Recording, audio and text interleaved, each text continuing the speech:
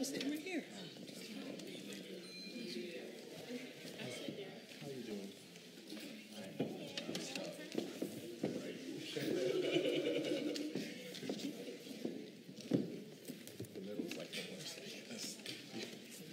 I sure am in the middle. I know, right? See the middle of somebody. Well, it's seven. It's seven seats. Might only be seven of us.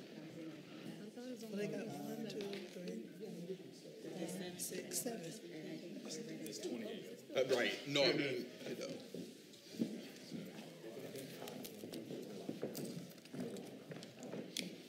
Welcome, everyone. Uh, And good evening. Thank you for coming to our uh, candidates forum for the at-large um, position in the city of Trenton. Um, I'd like to begin by thanking Passage Theater and the Old Mill Hill Society for hosting this forum. We welcome our candidates. Audiences here at Passage, Architects Housing, Kingsbury Towers, and Lutheran Arms. Okay, first, I'd like to go over the rules.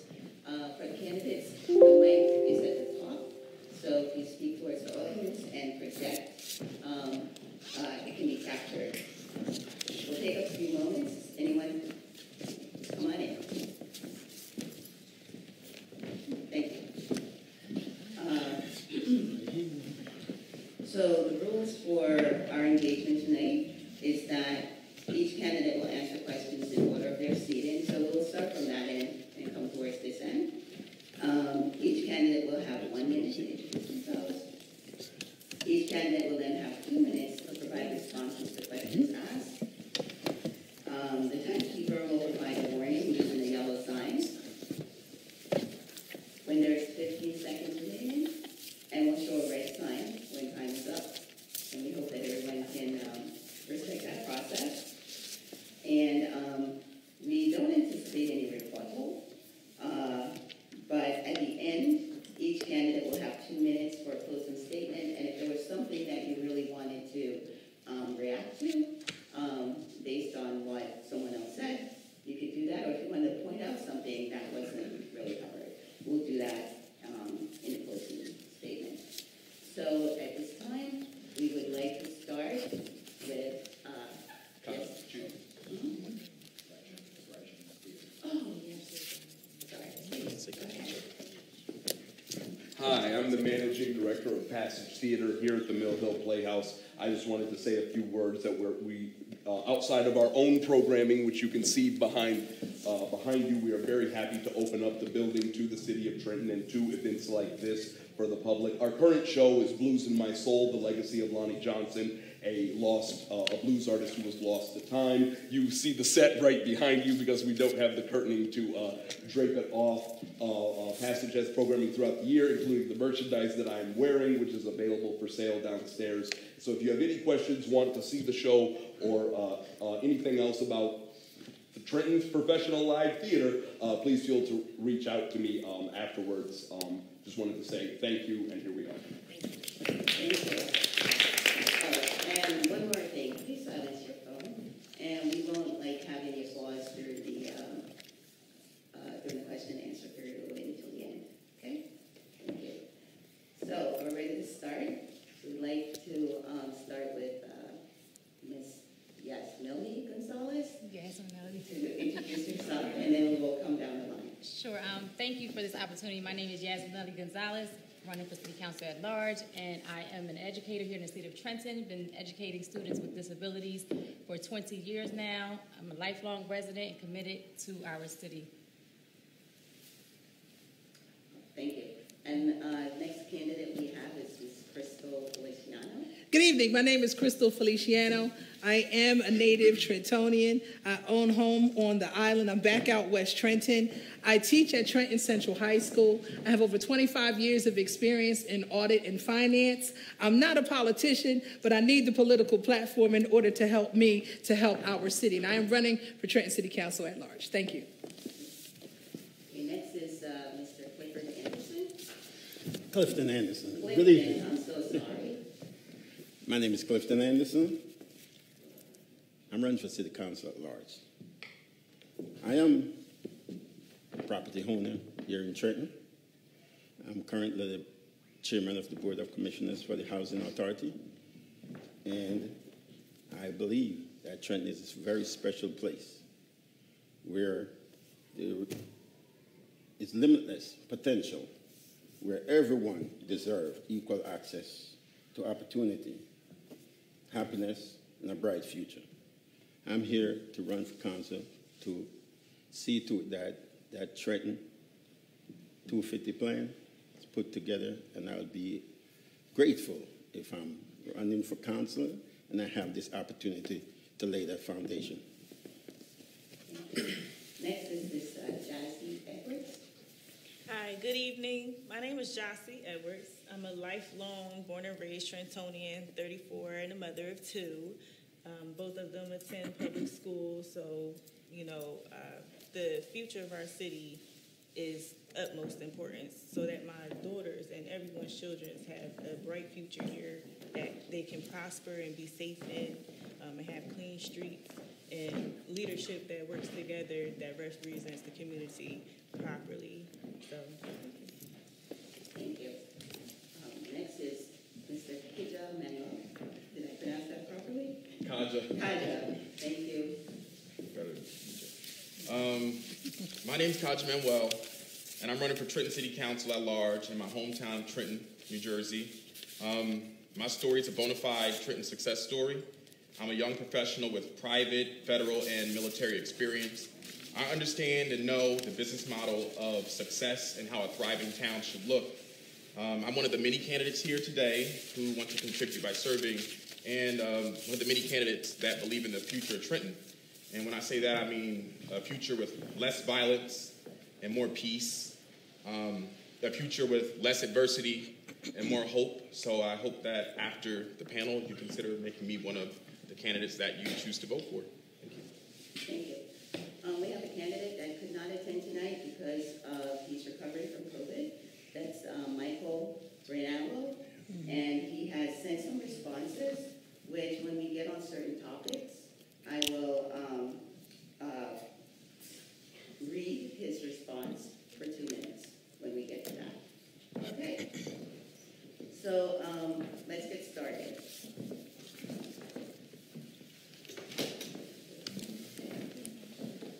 Uh, the first question um, is, and as I said, we'll just start in order from that into the next, but everyone will answer. Sometimes the questions will be around robin questions, and sometimes they'll just be individual questions, but I'll let you know when that is. This one is for all of the candidates. If your neighbors were here, what would they say about your involvement in your community? Um, thank you for that question. I'm first, correct? Correct. um, thank you for that question. So yes, I would say uh, my neighbors would say that um, I'm an involved and engaged neighbor.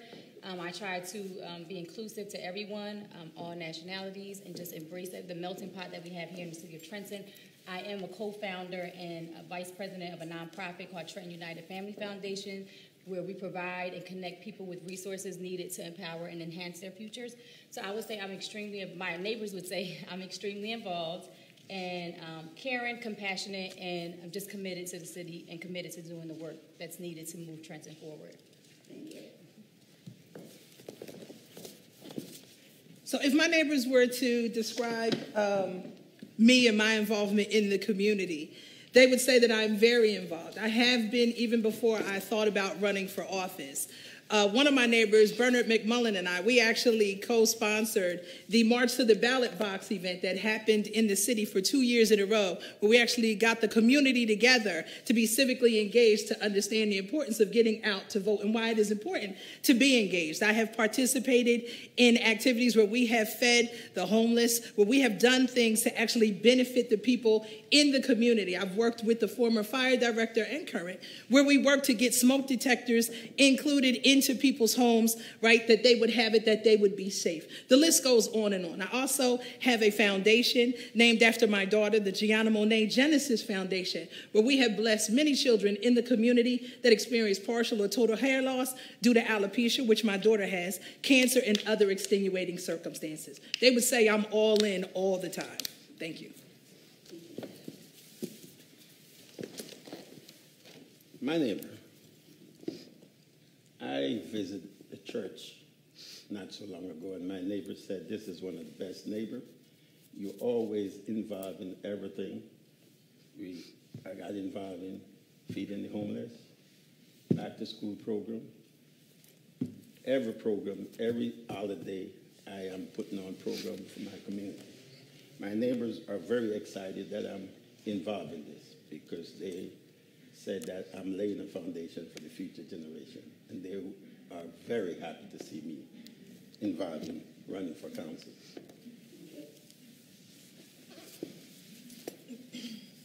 If my neighbors were here, all of them, I've lived in many, many neighborhoods in the city, and I've always carried myself the same no matter where I lived at. That's keeping our streets clean, that's looking out for one another, helping out with the seniors that's in the neighborhood, keeping the streets safe, advocating for speed bumps. I've helped people, I've helped my own neighborhoods complete, complete uh, permits for speed bumps. Um, just earlier this year, we lost our 10 month old puppy to a speeding driver coming down the street off of the highway where we live at on Ferry Street. Um, we were crossing the street already and they just tried to go right past us. So addressing those types of issues, bringing it to the administration's attention to let them know what's going on in their neighborhood, and teaching my neighbors how to advocate for themselves too. Don't just complain to each other. The administration can't make these changes if they don't know what's going on. So we have to understand that each and every one of us are their eyes and ears. So we need to report it. Um, they will tell you that I'm very engaged. I'm always involved. I attend civic association meetings to see how I can be a contributing member, how I can be the best neighbor that I can be, you know, learning the ordinances and things like that. So, you know, um, I like to be engaged. I like to be involved. I'm nosy. I'm not gonna lie, I'm nosy. And so are my neighbors. And that's the type of people that we should be. Those nosy neighbors, making sure that the trash cans are on the curb when they're supposed to be, making sure they're covered and animals aren't getting to it. Those simple things, reporting street lights when they're out, stuff like that, that affects us all. Um, our neighborhood watch, you know, um, we keep cameras up and we help each other report what we see. We had break-ins and things like that that we were able to catch people for. So that's the type of neighbor I am. So you can trust that your house is safe when I'm there. If my neighbors were um, here today, uh, I think they just, well, the ones that do know me, um, full disclosure, Tom and I just bought a home in Mill Hill this year, a few months ago. So, but I do know Michelle. I know a few, few other my neighbors here. But I think they describe me as someone who understands time management um, with the many jobs that I do take on. Um, I'm a family guy, guardian to my little brother Trey, who um, has autism. Like Jossie, I take care of my neighborhood. I live right on East Front Street, so I'm a stone's throw away. Y'all, welcome to my hood. Um, we claim it we're like the redhead stepchilds of Mill Hill because we're, we're, we're considered Mill Hill, but we're on more downtown city facing. Um, but yeah, young professional, hardworking. Um, I have my own personal values. I'm also a watcher. I'm one of the neighbors that look out. Um, hopefully, my neighbors don't think I'm a Karen, but I too make sure that their trash cans are pulled back and I sweep make sure the bricks aren't lifting up too bad from the trees, and then call the city because I'm not trying to get sued. And I don't want my neighbors to get sued for the bricks in front of their home. But um, yeah, they describe me as hardworking, as someone who cares about the community and continues to stand up um, for what's right, even when it's unpopular. I think that's important because my leadership and the skills that I have would mean nothing if I'm not willing to stand up for myself. So I'm not willing to stand up for myself. How can I stand up for those that I'm willing to serve? Thank you. All right. So um, basically, the questions are going to be centered around the four main topics of responsibility for um, council, which is assessing and confirming uh, appointments by the mayor, reviewing and approving the proposed budgets and monitoring its implementation, uh, investigatory review, leadership management, and constituents communication. But we have some like general questions that came in from um, members, and so we'll just throw those out and um, and start there. Uh, we'll probably not ask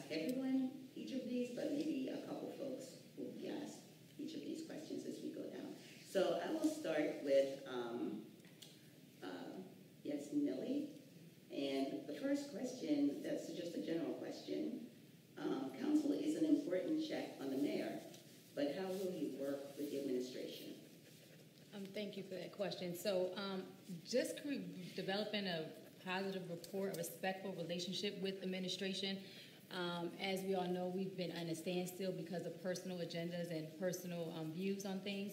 I think it lacks professionalism. Um, we need to, obviously, we have elected someone to be our mayor, and to have that support system around whoever is elected as, as our administrator and executive of the city. Um, it is very imperative that we work collaboratively with that person so that way we can move this city forward. We have been at this for too long, and it seems like we continue to go uh, in a downward spiral. And so right now we need uh, professional people who will be respectful, who are able to articulate, control their emotions, and be able to work collaboratively with our administration so that we could get positive results for this city. Thank you. So I'm going to skip around with this one because um, I'll ask another question, but the same question um, to Mr. Anderson. The same question. Oh, the same question, Yes, yeah. sorry. I'm just skipping around a little bit. Okay. The question is, how would I work with the mayor Uh, With the administration. or the administration? Yes. The administration is basically the same administration as I oversees. I oversee the Trenton Housing Authority. I am the chairman of the Board of Commissioners. As the chairman of the Board of Commissioners, I have seven commissioners that I over that I worked with, and my director is basically like my mayor. The director and I, we develop an open line of communication. So we discuss things, then we put it on the agenda, and we work together to achieve the day-to-day affair of the organization, which is the most important thing because the director is the one who takes care of the day-to-day affair. The mayor is the one who takes care of the city day-to-day affair. So we must have an open line of communication, and we must make sure the city work at any means necessary. Okay, thank, you. thank you. So for this question, I am going to read uh, the response that was provided by Michael Rinaldo, and so you can time me for his two minutes. Okay, thoughts on working with the administration. The function of the council is to be the checks and balances of the administration. This does not mean it requires an adversarial or combative relationship to achieve that end. Council should work cooperatively, professionally, congenially with the administration towards the goal of increasing the real and perceived value of Trenton. This does not imply that the council should be a rubber stamp body, approving every proposal, contract, or item that appears before the body. Every decision made can be tied back to economic development, from hiring a police director who formulates plans to reduce crime, to purchasing new sanitation equipment that will help to keep the city clean, to maintaining the waterworks which will result in higher quality services for the residences and businesses in Trenton. All activities can be impactful to economic development and increasing the real and perceived value of Trenton is the benchmark of a successful administration. My intent is to leave the personalities at the door and make decisions with the cooperation and input of six other individuals whom I all have the best interest of Trenton at heart. Okay. All right, the next question um, will uh, go to Ms. Feliciano. Um, it's another general question. What is council's role to attract business and jobs? And how do you feel about promoting cannabis-related business in our community?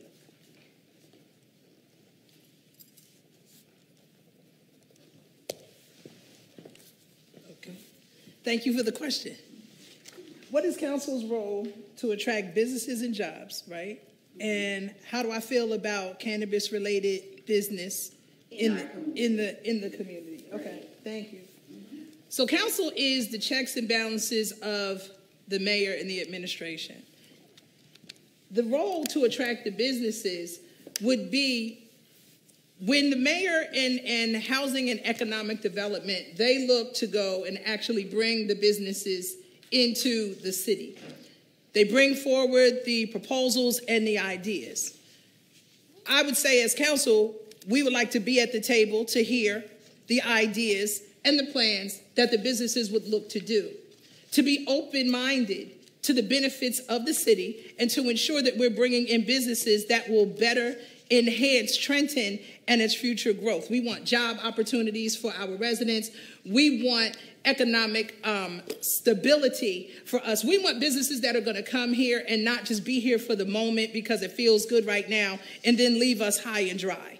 Right? And so, in through having those conversations and working through that collaborative dialogue, holding everyone accountable to that, then we can accomplish that as council. With relation to cannabis related business in the city, I am not opposed to that because Trenton, we actually would have been able to benefit, right, financially from it if we had went ahead and did what it was that was proposed on the table. Now, let me be clear on this. I am an educator, um, and I am a mother, and I am very responsible. I do not support drug sales and dealings in the streets. I do not. However, I do understand that cannabis is a wave of the times. It is a revenue generating business, and that we could be open to bringing it here responsibly, right, and wisely in order to best help our city thrive. Thank you. Thank you. All right, next question is for um, Ms. Edwards. Will you support the formation of a Trenton redevelopment authority, or will you rescind that action by the previous council, and why?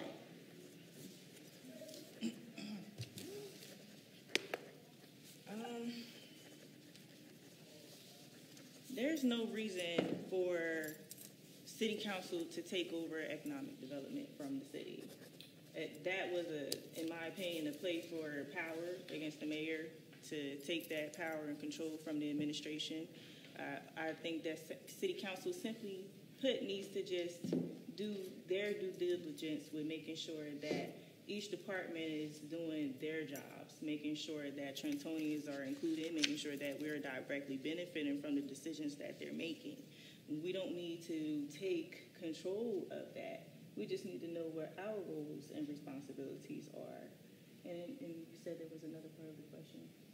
Um, it said, or will you rescind that action by the previous council, Oh, yeah, and why? Definitely, I would rescind it, because let's give the administration a chance. The city council did not give them a fair chance with trying to do anything, and in fact, eight out of ten things with Trenton Waterworks, for example, was voted down. So we need to just learn how to collaborate, you know, with uh, fellow city council members, and collaborate with the administration, and just making sure that things are done properly.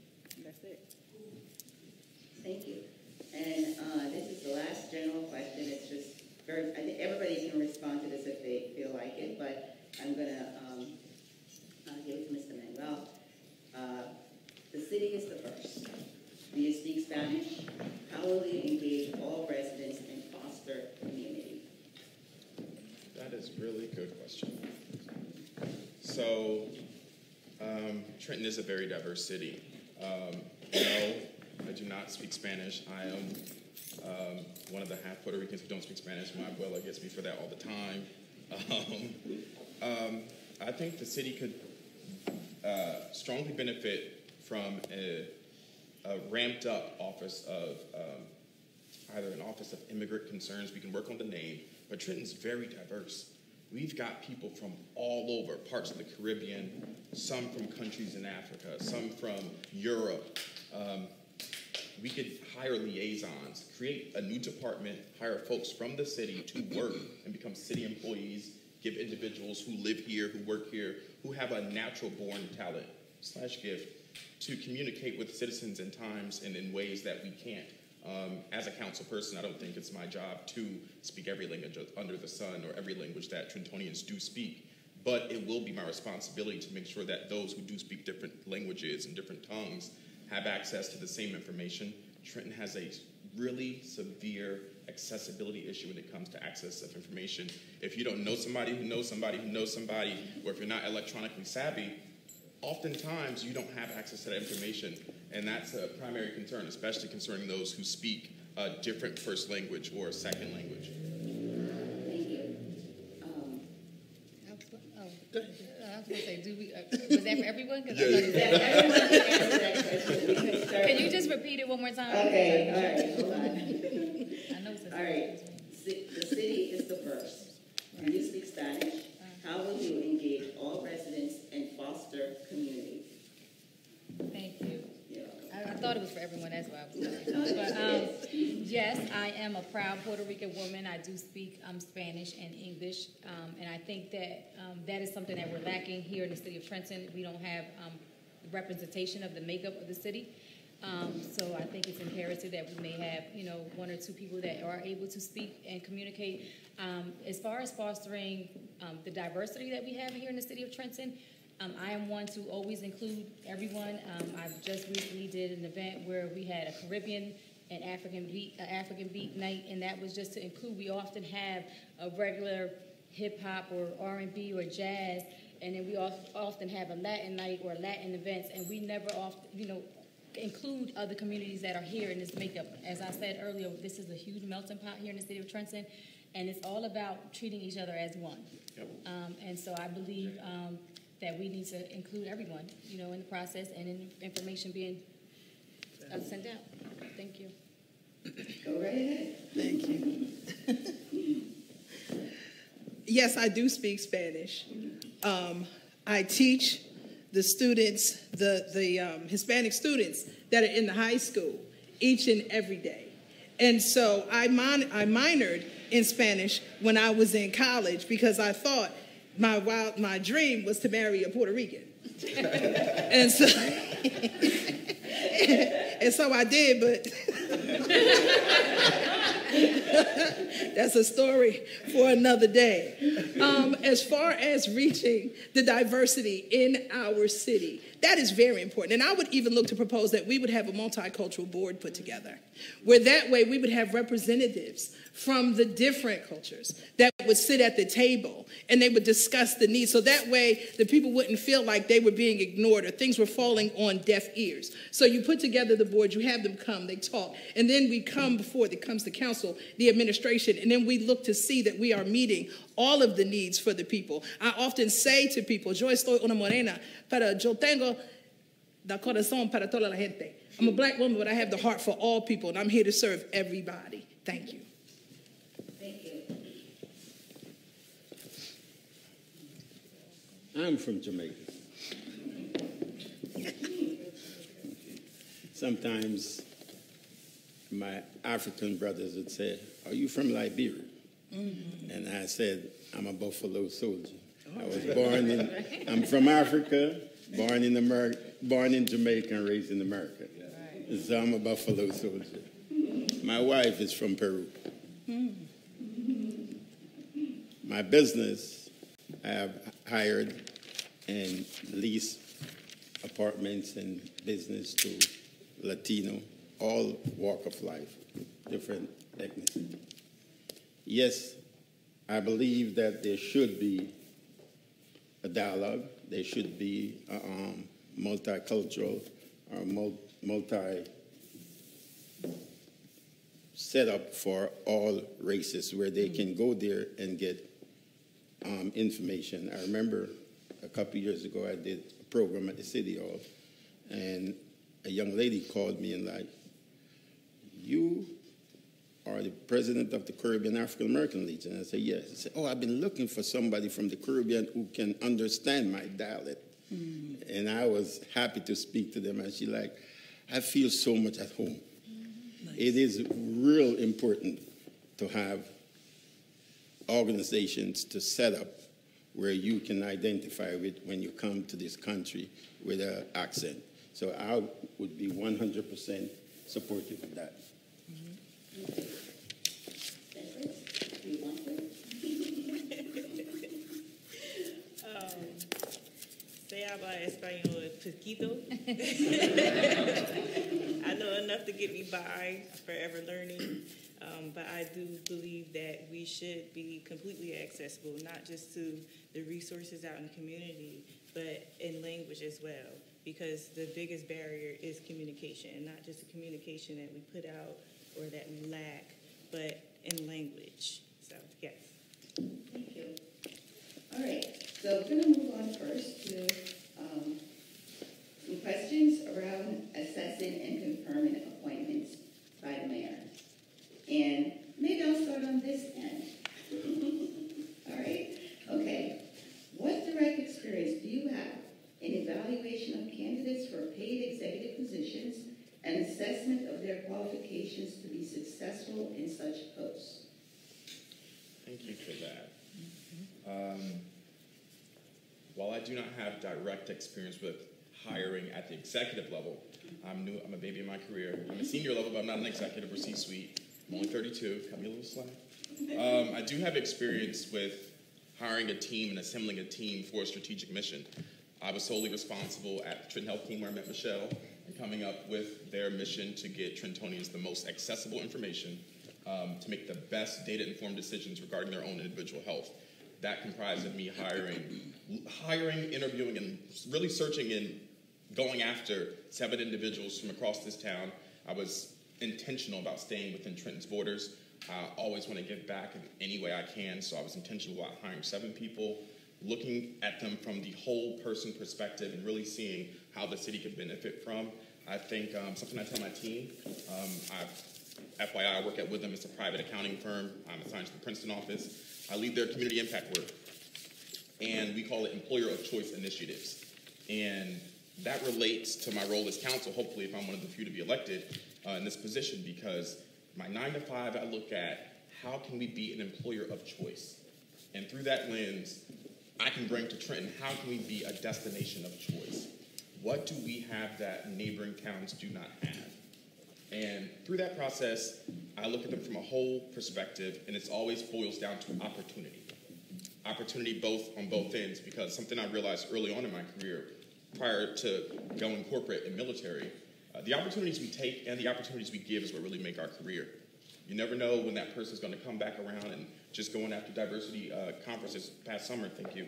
Um, I realize that. So it's all about opportunity, making sure that Trenton is Trenton. When I say Trenton, I mean the taxpayers and uh, the homeowners or property owners um, are on the winning side of that deal, making sure that Trenton has the best uh, the best side of it.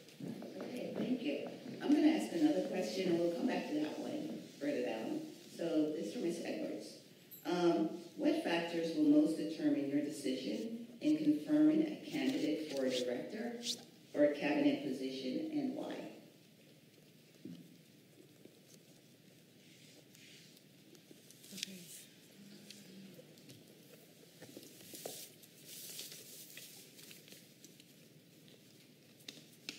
Um, so I'm a senior constituent services representative for Congress. I've hired dozens of interns over the past eight years and also fellow colleagues well, individually and collectively, because uh, we believe in getting everyone in the office who's going to work with this individual's input on the process. So we vet them based on their experience, but we look for quali- qualities like integrity, constituent services, communication skills, writing skills, but that main piece is communication. Are they going to listen to the people? Are they going to represent them properly? Um, are they going to be out in the community to know what's going on so that they're making the right decisions? So what I look for is first and foremost a Trentonian, someone that knows our city, that's out here in the community speaking to people all the time.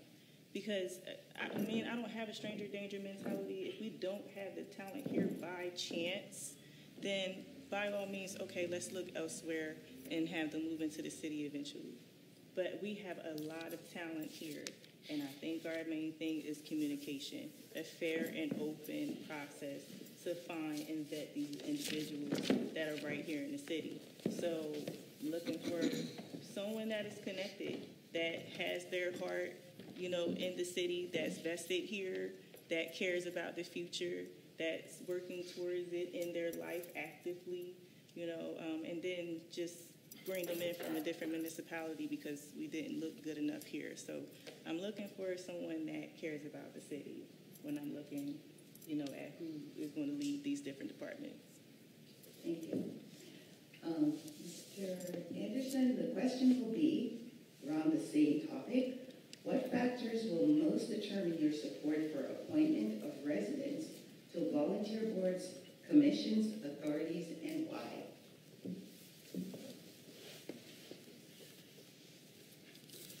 I believe that whatever discipline or areas that you hire someone, they must have some form of expertise and knowledge in that degree. I also believe that when you do hire a person to fit into a different administration, they do need to be trained in that administration also. So I, would, I myself, I would advise the mayor that they should set up some training process for these new executives to be trained to be familiarize themselves to the city. I believe that Trenton, Trentonians are very resilient and they have the ability to be as good as anyone else. So we should look to ourselves first, look in our midst first, to find someone from our community so we can motivate them, stimulate them, and hire them first to lead our people and to motivate our youths. Because it's, it's, it's very rewarding when you see someone who you know in a position and say, well, if he does it, I can do it too. And that's why you would like to hire someone from Trenton so it can motivate Trentonians. Thank you. Um, Ms. Feliciano, can you uh, take the same question? What factor will most determine your support for appointment of resident to volunteer boards, commissions, authorities, and why? Thank you. So the factors that would determine my appointment, my say so, right, to the residents, support my support of it, um, to the boards and why. While I do believe that people should have a basic knowledge of the board that they're looking to be appointed to, I do also believe that people deserve the opportunity to grow and learn. I'm an educator by profession, and so for me, you know, we can look outside the box and it's okay if the person has the drive and the gumption to want to do better. I've listened and heard people talk in the community who actually rent um, apartments that are not satisfied with the things that are going on where they live. And they would be interested in serving on the housing authority, right? And so why not give them the opportunity to do it? If you have the heart to do it, if you have the wherewithal, the desire to want to do it, because again, like you said, these are volunteer positions. So people are going to take time out, right? And through conversation, we get to find out exactly what the person is about. Conversation, you kind of check back and see, you know, what, what's your resume look like? Right? And so we would look, for me personally, having had that corporate background, we would look at the resume and see what is your job longevity period? How do you move? Are you bouncing all over the place? Are you secure with where you are? Right? Are you reliable? Those things are all important because the business of the city is important. And so while we want to give residents the opportunity to serve, um, the city, we also want to make sure that we put people in position that are going to be in it for real for the long haul and that they're going to do what it is that they are commissioned to do. Thank you. Thank you. Um, so the last question on this round will be um, a repeat. What factors will most determine your decision in confirming a candidate for a director or a cabinet position? Okay, thank you for that question. So um, that would go with um, just doing a thorough check on one, their qualifications. Um, do they meet those requirements? Um, their experience, background experience. I would also think that um, the dialogue and making sure that they have certain qualities and their commitment to the city.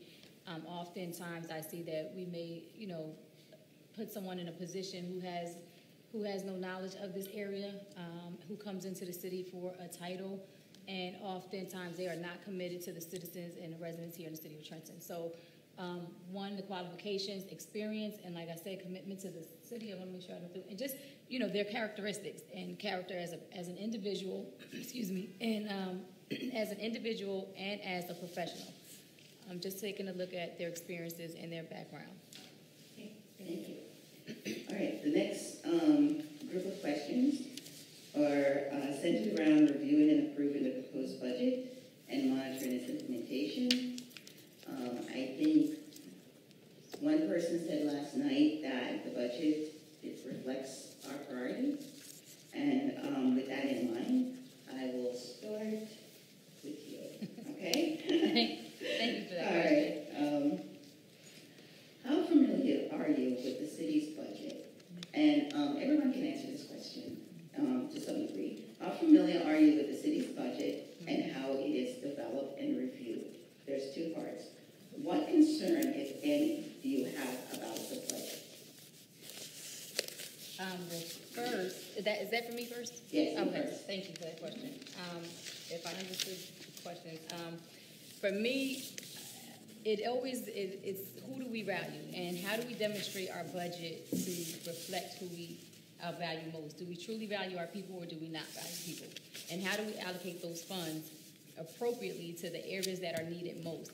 So that to me comes with an um, direct, in-depth conversation with some of, with our administration, um, so that we can identify those key areas, be able to um, see where there's spending, um, where there's unnecessary spending, where there's ways that we can save money. The ultimate goal is for Trenton to be a sustainable city.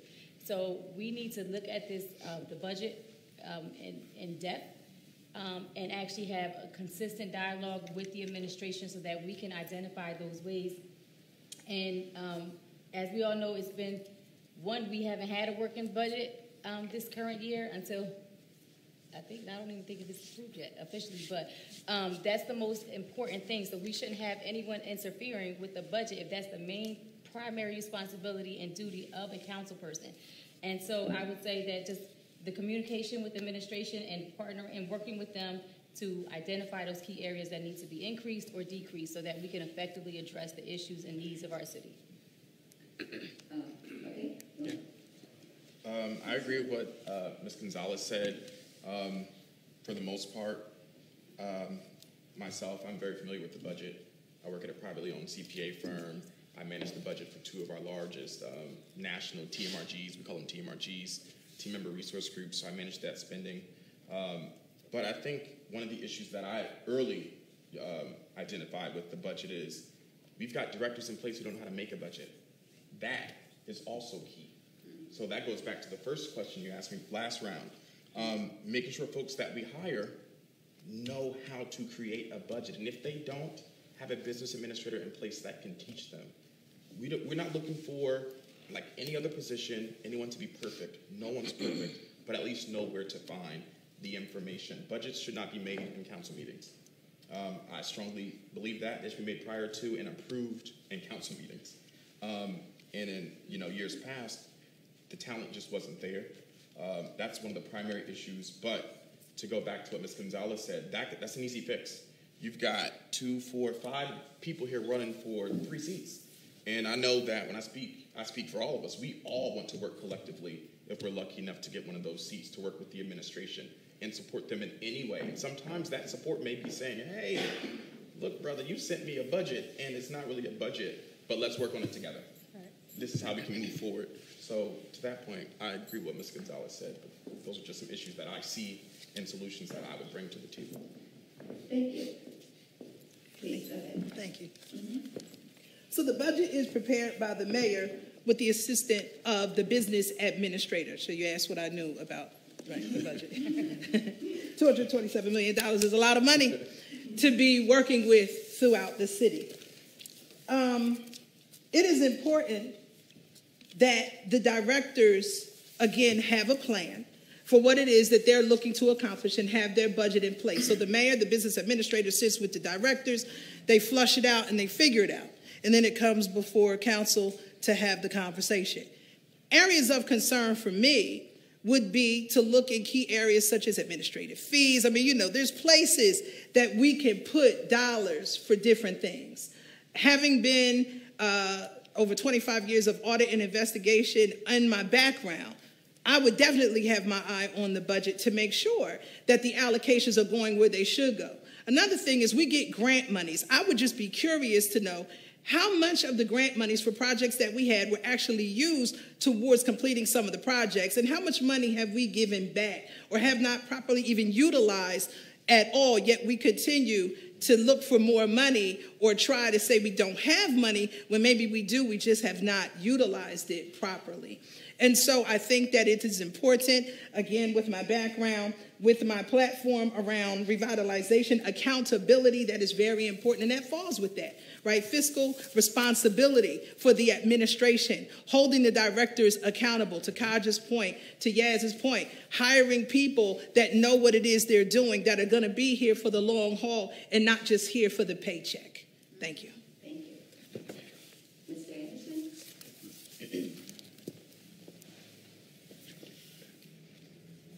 It is my hope that the mayor would hires the right people to do the budget. The budgets is something that is set in place in every city. And I believe that the, the, the, the, the blueprint of budget is already set. So all we have to do is make sure there's transparency and accountability for the budgets. And of course, that's what the council is there to look for transparency and, and accountability for the budget. But the mayor, he is the sole person that is responsible for that duties. We're just there to make sure there's transparency and accountability for everything. Okay. Thank you. Uh, Ms. Oates? Um, like you said earlier, our, our budget reflects our priorities. The needs of the community is our priorities. Um, what's missing is our priorities. We should be putting money towards making things better. So the budget process goes once we get the projected income from our different revenue streams like Trenton Waterworks, state aid, um, parking meters, fines and things like that through the court system, other municipal miscellaneous uh, fees that we get revenue from besides our property taxes, um, grants and things like that, bonds. So once the, all of that revenue is accounted for and broken down to the departments, the department directors come up with a plan on how they're going to allocate that money. So, for example, we've been talking about the gun violence in our city for 20 years. And everyone keeps on saying we need the youth involved. They need things to do. Take what Parks and Recreation did, how they allocated their funds, funds into neighborhood watches, movie nights under the stars, all kinds of recreational activities for adults and kids alike. We had zero gun deaths for 60 days during that stretch of activities during the summer. And the moment those activities stopped because of the weather, the gun violence started back up. That's our priorities, is making sure that those services continue year round, making sure that our funds are being allocated to giving safe havens for our communities. So we need community centers, we need libraries. Open the schools. They're already tax exempt, they're already paid for. We don't really have to pay for too much overhead. Open them up for our kids to have somewhere safe to go. So um, we our issue is um, not the lack of funds, it's just how we allocate them and the fact that we don't use them. So Parks and Recreations have $11 million right now that they can't get past council for approval. That's what we can do on city council is making sure that we're spending the money to save our kids. Thank you. Okay, we're going to continue with that thought and um, with the question, you know, what does your ideal budget process look like from the standpoint, how would you use the budget process to promote equity across the city? Because folks look in one area and they think spending's happening over here, but spending's not happening over here. But if it's um, put out through the budget and explained to the people through the budget and they can see how things are being spent through the budget, maybe we can have a sense of equity and unity across the city. So um, we will start with, um, maybe I'll go in the middle and mix it up. um, well, we start, Mr. Anderson. I know you said the budget is set, but we'd like to hear some thoughts about, in the process of that set budget, how would you look at a budget and say we have equity across the city when we're looking at our budget? okay. Again, like I said, um, I am the chairman of the Board of Commissioners at the Housing Authority. The Housing Authority has a budget similar to the city, the city budget. And our, um, our director presents the budget to us on a timely basis. And yes, we, we would be able to analyze the budget, see in what department that is um, make sure we, we have transparency and accountability and see where the mayor is presenting to us areas where it, it is profitable to the city. And then we can work on those areas to make sure that the budget money is spent in the right places. Thank you. Ms. Gonzalez. Yes, ma'am. Thank you for that question. Could you just repeat it though one more time? Sure, sure. Um, so it's around your ideal budget process, but at the same time, how would you use the budget process to promote equity across the city? Um, thank you for that question. So, one, I would say um, just being transparent um, with the community and allowing the community to be included in the, the budget process is obviously an administrative and council, and, and, you know we all take a look at it, but also involving the community to be a part of it to see um, where they where they feel they are not being um, their needs are not being met also, um, and so I would say you know creating some type of session. I know our our meetings, council meetings, are open to the public, but unfortunately some people are not on Zoom, maybe in person. We can allot some time so that the community is able to come in and be a part of that process as well. And just be informed. They can ask the questions. Um, oftentimes, they don't feel included in any of the process. And I believe as elected officials, we are working for the people, so allow them to be a part of the conversation and a part of their um, the process and have input also, and where our uh, funds are being allocated. Okay. Um, yes. Me? Yes, you. Sorry. Thank you. okay, so how do we use the, the budget process to make sure that equity is across the city mm-hmm. is the question. Thank you. All right, so on my platform, the last E in the word race, right, for me, we, we say that our platform is based around the word race, revitalization, accountability, collaboration, and equity for all. So in looking at the budget process, when the directors come forward with their plans and everything, I would suggest in order to have community involvement, like the thing is, City Hall is never going to open up the doors and be like, tell me all your thoughts and tell me everything that you need and everything that you want. We would have total melee if that happened, right? It can't, it just won't be. So what they can do is have surveys, right? We've sent out survey, ask the questions. What are your concerns? Even looking through GovPilot, they have certain things in place. What has been reported? What are issues that are going on? What is happening and how can we fix what is going on around us? We have different departments public works, housing and economic development, recreation, water, health and human services, police and fire. Everybody should be coming to the table with something viable for what's going to happen in this city. And so then, based on information that has been gathered and basic needs, because the thing is, Every department director has people that work for them that are supposed to be out and about seeing what's going on. They should have a pulse for what's going on in this city, right? And it shouldn't be sometimes, it should be all the time. People should know what is happening. And so when it's time to sit and make the budget, then they will be able to properly allocate the funding to say, Housing and economic development needs this, public works is going to do this. And then the hope would be that by, by spreading the money the right way through the different departments, one thing, by fixing one thing, it would help eliminate another thing and another thing. And so everybody is working together collaboratively and cohesively in order to make things better. Thank you. Thank you. Um, How would I use the budget process to make sure there's equity across the city? Mm-hmm. Um, equity, accessibility, accessibility to not just learning what the information is, learning what our resources are, but access to healthcare, like how the Department of Health had opened up the, the clinic on Olden Avenue, making sure that as our hospitals are shutting down, that we still are providing resources. How they added mental health services to the department because we know that we are an impoverished city where we have concentrated poverty here at 40% below poverty line 75% low income. These are the facts. So we need, we know people need help out here. So healthcare, um, education, transportation, whether it be public, whether it's transportation for our seniors, whether it's transportation for our children to get to school.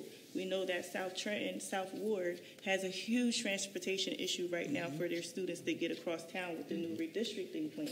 So our students are left to walk for miles just to get to school from the South Ward because of the redistricting. Um, revitalization with our housing market. To when we talk about equity, let's talk about the tax burden that are on the taxpayers that are in the city. When we have hundreds, thousands of properties that we're not collecting tax from taxes from, the burden falls on other people. So then where's the fairness in that? So we have to focus on returning properties to the tax roll, getting tax ratables from our non-tax or our non uh, properties in the city, mm-hmm. so that our taxpayers don't feel that burden. You know, um, homelessness, our seniors, that's equity, making sure that they have access to the resources they need, the information they need. Um, and that's about it. You know, I pretty much describe what equity is. So just making sure that everyone has access to everything they need across the board. And you feel that can be done through the budget? Yes, through the budget. Yes. okay. Yeah. Thank you. Um, while I feel I agree with everyone here on this panel, I, I think they pretty much, for the most part, have uh, maximized the value mm-hmm. of uh, contributions anyone can say, but I will say this. Um, a budget is a moral document, and like Jossie said, she hit it right on the, right on the money. Um, the budget reflects what the administration and what the directors say is important to them. Um, but as an at-large council person, I can't be everywhere at once. No one can be anywhere at once. So I have to really rely and forge some relationships. Um, if the current administration stays on, get, you know, lace your boots up and get down in the streets with, with the actual directors. But I'd also lean on my fellow council members who aren't at large. Um, we see some, some candidates are in here. For example, Jenna's there. If I really want to know what's going on in the South Ward, I will look to the administration, but also I'm going to ask Jenna, you know, during my uh, office hours, and I say office hours because I have a pretty flexible job, fortunate um, something that our team and I spoke about was creating maybe a two hour window each day that I can dedicate to communication coming in and responding real time, either via in person or on Zoom. But creating an office hours, uh, a lot of times we see, to go back to what Jossie said, um, accessibility is a big issue here. A lot of folks aren't accessible. They're not in the community. They're not, they're not even on Facebook. So you can't really find them. And then you'd email, shoot it in the wind, hopes to get a response 72 hours later. This time around, and I, based off their responses, we all are looking to revolutionize that. So the competition is tough. But um, yeah, the competition is a little stiff. But um, yeah, um, accessibility, having open uh, open office hours. Oh, is that yellow or red? Okay. Uh, having open, open open office hours, being accessible, but also relying on the folks and systems that are in place. If it ain't broke, don't fix it. Rely on your colleagues, rely on the administration, and if something comes in that you know, even though we're serving at large, hopefully three of us will be, mm-hmm. look to where that ward is, and then also quick as send an email. Hey, Jenna, this came in. CC the director. Boom, and then allow them to use their leadership skills in their position to also handle it. You don't want to step on anyone's toes. All right, thanks for that. Yeah. Um, so this is probably the last question around that, but it's it's kind of coming from a standpoint where citizens are asking for services that are just part of regular infrastructure that just should be maintenance. It just should be integrated in a budget. I mean, I personally have been told once I needed something done, it still hasn't been done. They're like, well, it's not in the budget. And I'm like, okay, but when will you get in the budget? And it's been two years. I don't know if it's ever, ever going to get in the budget. So given that type of um, attitude, towards we can't do this because it's not in the budget, that wasn't budgeted for.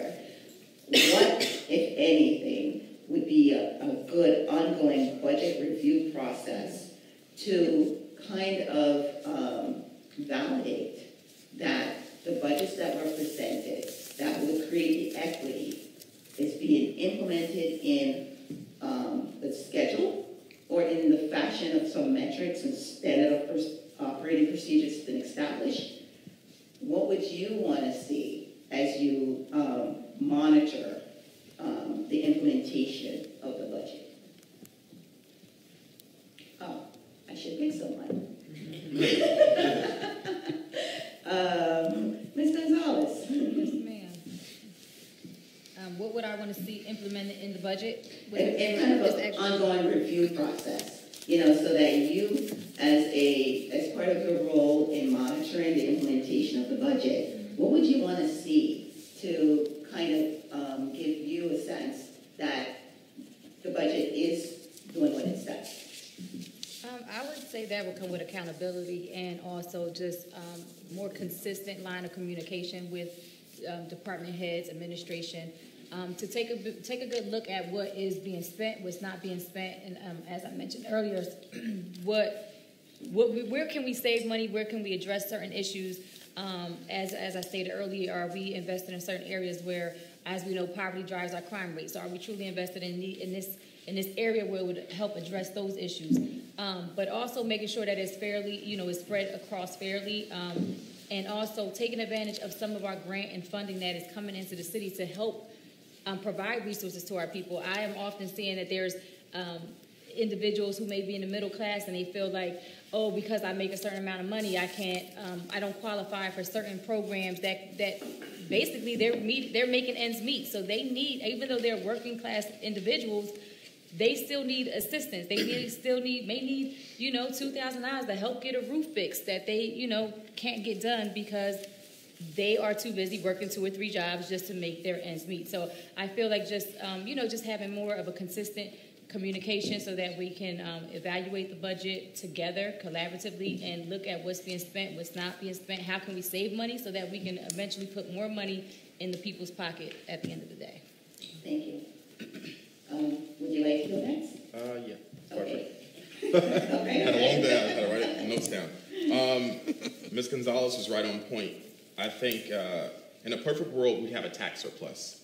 Um, thank God for cannabis business coming into Trenton. We are going to benefit so much from that. Um, we also have to address the awkward elephant in the room, the structural deficit that the state's imposed on us. Um, if we don't get dollar for dollar what's owed, residents and taxpayers, or excuse me, property owners, we'll keep footing the bill. Yes, we get $20 million, but if we got dollar for dollar, we'd be getting 45. And homeowners like myself, like many of you in here, we foot that bill. So my team and I, we looked at innovative ways to address that if the state won't give us our money, creating a commuter tax. And I say commuter tax and not city tax, like most, almost every capital city in the in the country has a city tax. But I called it a commuter tax, and we'll, you know, hopefully look at ways to implement this because this, the residents are already footing the bill. Why double tax them?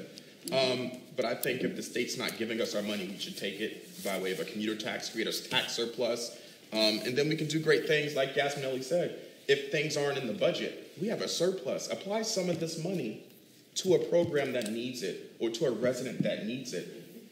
Hopefully, you know, this, this next election is going to make or break this town. I honestly do believe that. That's why this is so important. And that's why we all showed up, and that's why you all showed up. But um, we want a tax surplus. And that's, we can only get that from taking it. And thank God to the, to the cannabis industry coming here and investing in town. And that will truly start to um, show Trenton what equity really is. You know, equity isn't equality. Equity is the, oppor- you know, the access to opportunity, which creates equality. But, um, make me nervous, Michelle. but, but yeah, and when we get a tax surplus, we can put money aside to help those on fixed incomes with the rising cost of taxes. And hopefully taxes will decrease. I always think about retirees, seniors, and disabled, you know, veterans and so on and so on. But a tax surplus would fix that. Thank you. Yep. Ms. Feliciano? Thank you. So you asked about what would be an ongoing review mm-hmm. of the budget. What would I want to see as far as an ongoing review, what we would want to see is an ongoing review of the budget. So that again is what they've said about the conversations, right? What what plans have been put forward? What has been executed um, within the different departments? What have they done? And we stop and we take a moment and take pause to say, what can we do to help make it look better? So does that look like every six months? You just kind of take a cursory review and just see where we are and what needs to be done? Does that look like, you know, quarterly? Are we looking? But something needs to be looked at closer, right? We look at the um, the 250 plan, And this beautiful plan was put together, paid for, put together for what Trenton is supposed to evolve to be by 2042. Where are we even with the plan? We, we have this document, a living, breathing viable document that talks about seven principles that it was based on, that Trenton was going to grow and rise and thrive and be excellent in so many areas. Well, when do we start stopping to make sure that we're moving in that direction that we're supposed to be moving? Otherwise, again, we've shelled out more money for nothing. Thank you.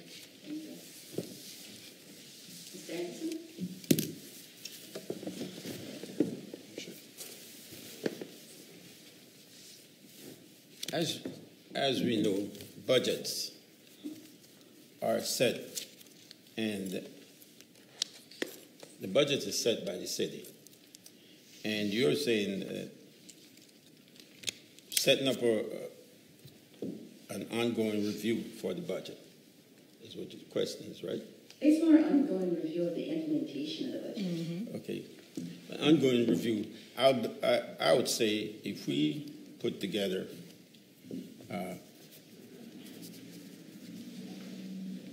uh, if we put together a department that can oversees the budget and to make sure that there's transparency in the budget, where we can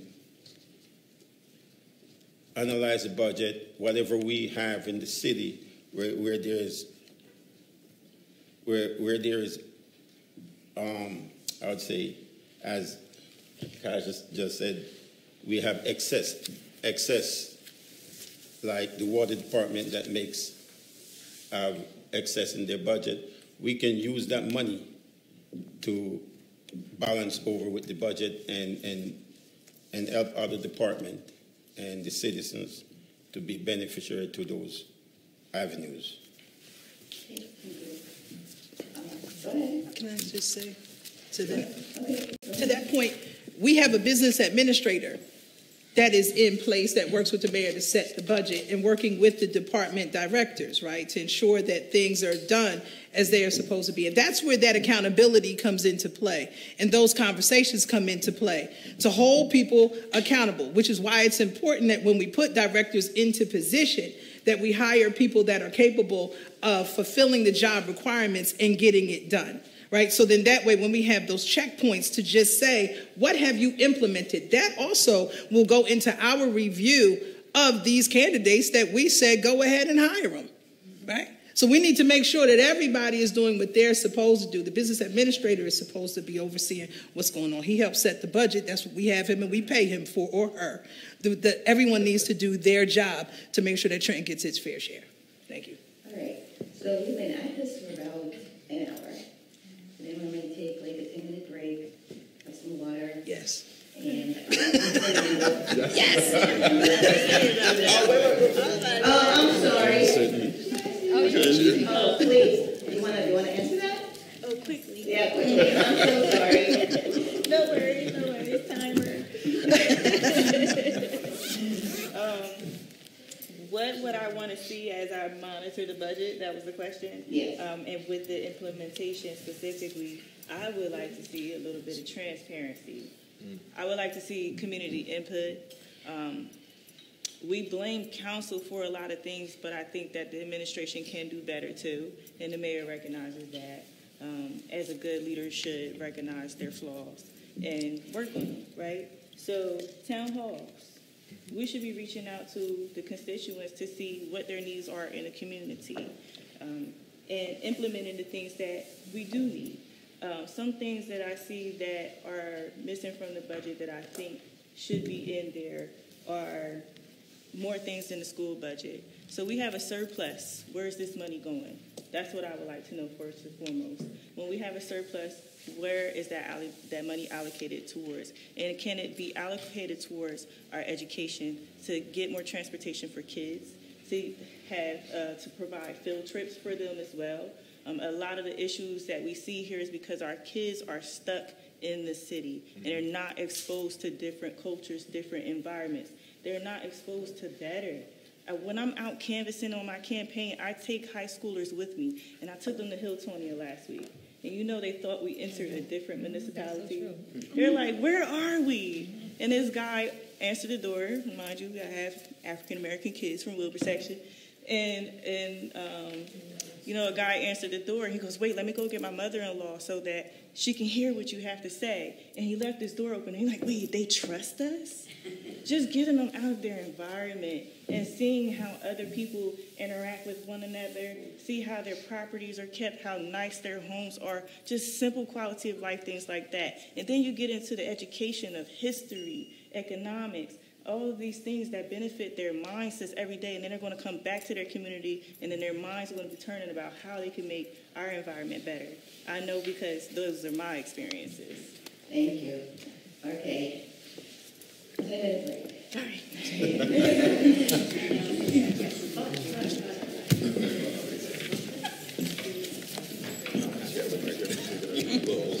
minutes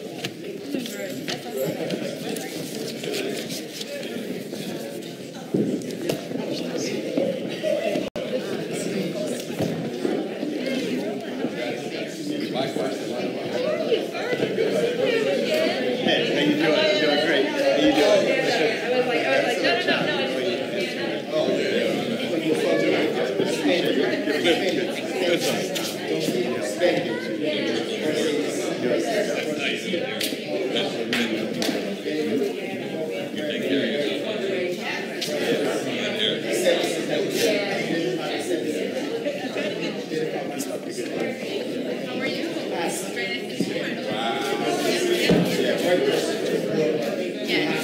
How are you? Doing well, doing well. Hey, nice job.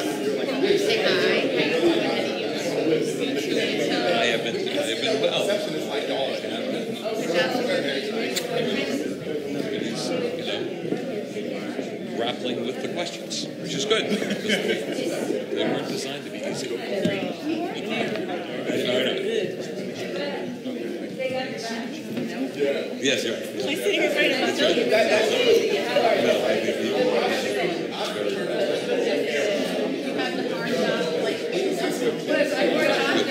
Your delivery. You're mailing today. Yes, you're mailing today, so now, now you know. The postal service is serving.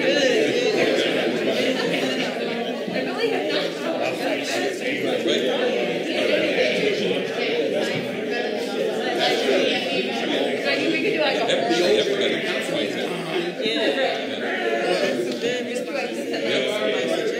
Right, right. Some of these things people are great, and I said, let's not forget to do that. Right, right. Right.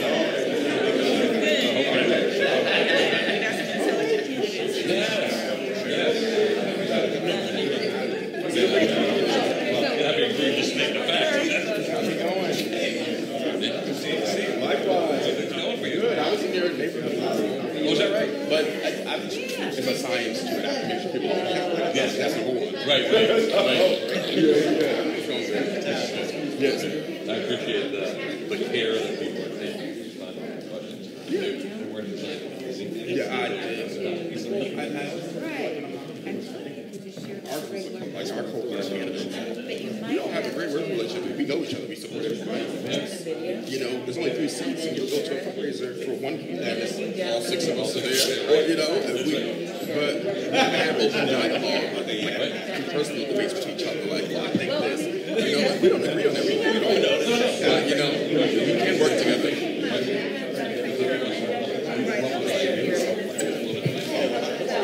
Right.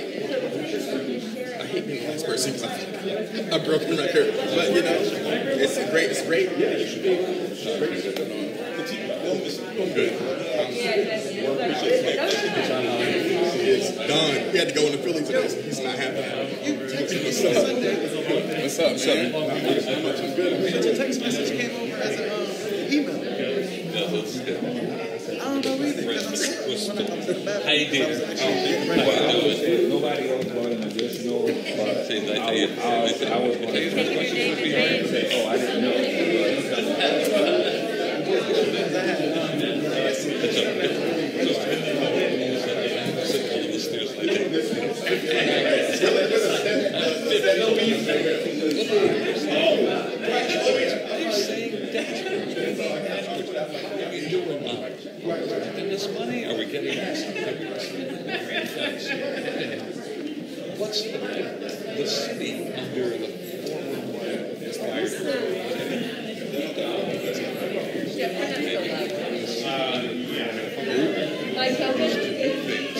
It's a hot mic.